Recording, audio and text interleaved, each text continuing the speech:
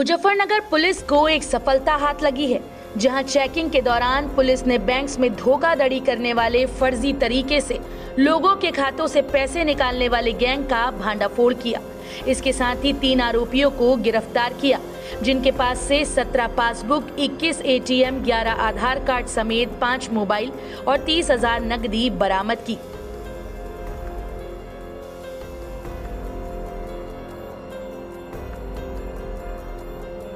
अर्पित Vijayvargiya SP city ने बताया कि थाना सिविल लाइन पुलिस टीम ने चेकिंग के दौरान फर्जी तरीके से लोगों के अकाउंट से पैसे निकालने वाले तीन आरोपियों को गिरफ़्तार किया और हिरासत में लेकर तीनों से गहनता से पूछताछ की। वहीं पूछताछ के दौरान बदमाशों ने अपना जुर्म कबूल करते हुए बताया कि लोगों के फर्जी तरीके से आधार कार्ड बनाकर बैंक्स में खाता खुलवाने के बाद बैंक मैनेजर बताकर फ़ोन करते थे और उनके बैंक खातों की जानकारी करके बैंक से पैसे ट्रांसफ़र करते थे। फ़िलहाल पुलिस ने आरोपियों को गिरफ़्तार कर जेल भेज दिया है। इस तरह का खुलासा किया है कौन थे क्या है तरीका आज थाना सिविल लाइन पुलिस ने तीन अभियुक्तों तीन साथी जो लोग हैं उनको गिरफ़्तार किया है। इन लोगों का काम ये था कि ये जो फर्जी आधार कार्ड बना के फर्जी डिटेल्स यूज़ करके अलग अलग बैंकों में अकाउंट खुलवाते थे और उन अकाउंटों का यूज़ जो हमारे जो आजकल ऑनलाइन फ्रॉड होते हैं उसमें इस्तेमाल करते थे।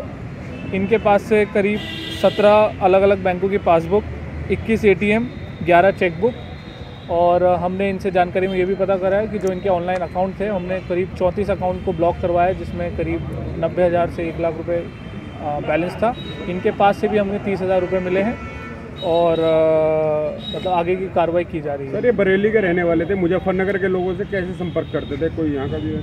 नहीं ये जो फर्जी आधार कार्ड करते थे तो फ़ोटो और जो आगे का नाम वगैरह वो सही रहता था। पीछे एड्रेस गलत लिख देते थे। तो जैसे यहाँ का जो एड्रेस लिख देंगे आधार कार्ड है बरेली का लेकिन एड्रेस यहाँ का लिख दे रहे हैं। क्या कोई बैंक कर्मी भी अभी नहीं बैंक में कोई इसमें सर कब से काम कर रहे थे? इनके खिलाफ कोई पहले अभी इनसे पूछताछ में आया है कि ये पिछले चार पाँच महीने से कर रहे थे पहले इन्होंने जयपुर में भी ये सब काम किया है अभी मुजफ्फरनगर में अभी कितने की ठगी अब तक कर चुके हैं?